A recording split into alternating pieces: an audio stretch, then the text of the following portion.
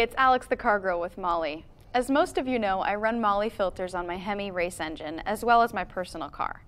Both vehicles use what is commonly referred to as a spin-on or canister style filter. And if you've ever shopped for spin-on oil filters, you know you can spend less than 3 bucks to as much as $15 on a spin-on oil filter. I've often wondered if there was really much difference between the $3 filter and the high-priced one. So today, with Bill McKnight's help, we're going to look inside a number of oil filters and see if there's any visible difference. I'm going to turn it over to Bill and see what he has for us. Well, thanks, Alex. I'm glad to have the opportunity to do this. What I did last week was I went online and found our nearest auto parts store, which is only about 10 minutes from here, and I shopped for filters online.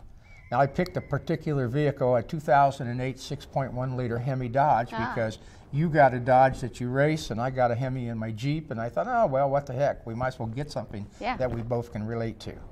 So, counting the MAHLE filter, I actually acquired seven different brands of filters last week for that particular engine. And the price was $3.99 for the cheapest, and the high price was $9.99.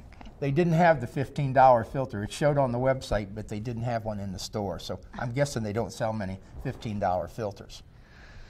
All right, so let's see what's inside of them. How are we going to see that? Well, it's pretty simple. What I'm doing is using a common race car tool. Matter of fact, it's laying right here in front of you, mm -hmm. and it's called a filter can cutter.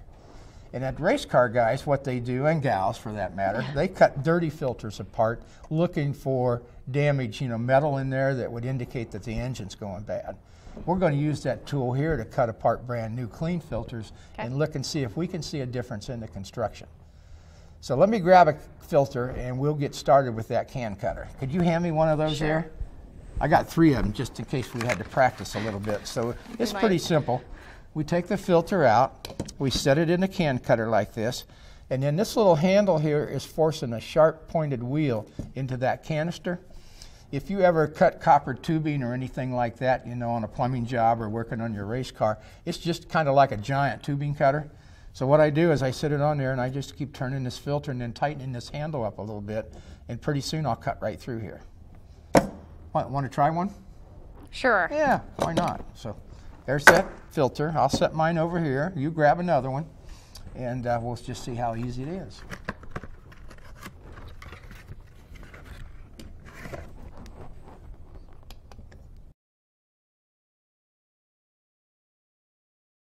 Do I tip it over like this? Well, what I do, Alex, is I set it over here at the edge of the table so I can turn it like this. Okay. And then I turn the handle. So let me scoot out of the road a little bit there so you can try it. You have to be left-handed. Did I mention that? Oh. this is a left-handed filter cutter. All right, now turn the canister. It shouldn't be hard to turn. If it gets too hard to turn, you're turning the hand wheel okay. in too quickly. Because see there, it's hard to turn. So you just go around, it should turn real easy. And when it turns real easy, then you turn this in a little bit more. Okay. So round and round we go. Getting oh, so easier. you just you just make it like a little bit. yeah, a little at a, a time. Now you're getting it.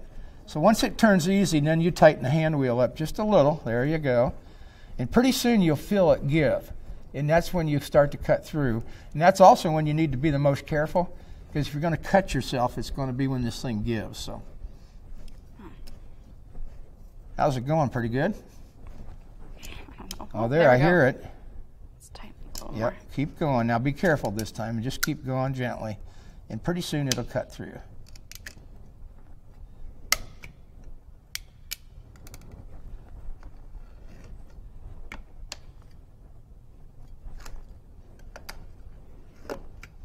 Piece of cake, huh? Sorta. there you go. It's almost there. I bet you can hardly wait to cut the other seven apart I bought, huh? Can't wait. Dying. All right, something All right. went wrong here. Well, you're almost there. What we'll do now, and I, I have a little more experience. Plus, I have medical insurance, so oh, just in excellent. case something bad happens, you get old like me, you have to have that. So, what we you were almost there. Now all I do is bend that filter back and forth. Okay. Bingo, there I am.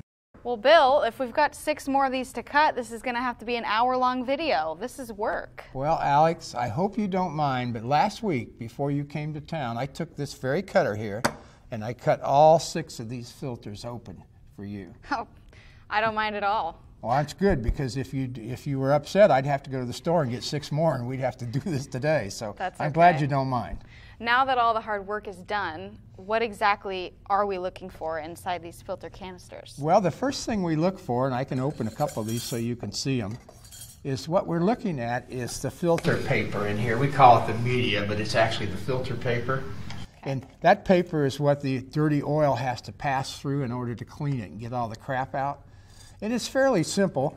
Uh, what we figure is the more pleats that are inside of a filter, the more filtering capacity it has. So one of the things we could do, and I actually did do this when we were on break, is we can count the number of pleats in this filter.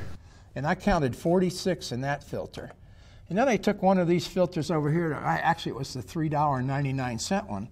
And I took that filter and I opened it up. And of course, it's got pleated paper in here as well.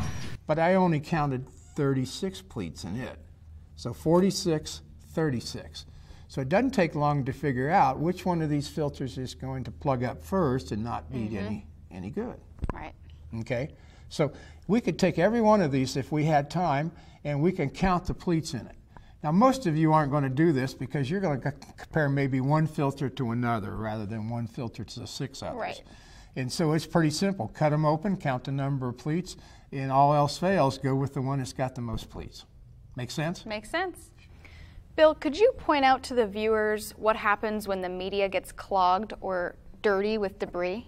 Well, I'm glad you asked that because as a youngster, when I was your age, all my friends were bragging, you know, and saying, oh, you know what, Alex, I never change my oil filter. I change my oil every, you know, every six months, but I just leave the filter in there. That saves money that way.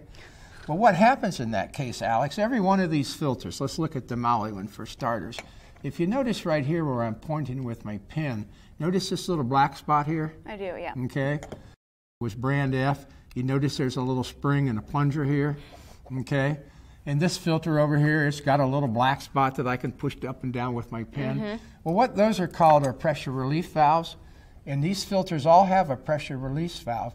And so what happens is the filter media gets clogged, the oil pressure starts to build up because we're trying to force oil through that clogged filter. Dirty stuff, yeah. Well, what happens when it hits whatever the pressure relief valve is, maybe 60 psi or 80 or whatever the manufacturer set it at, that valve opens and all the dirty oil just runs right back into the engine and bypasses the filter totally. Hmm. So you can run that filter the entire life of the vehicle, even your little old car, which I think is pretty old.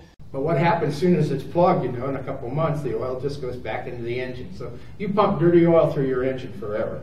Well, Bill, we've done it again. I can see our director, Jenny, pointing to her watch, meaning we need to wrap it up for today.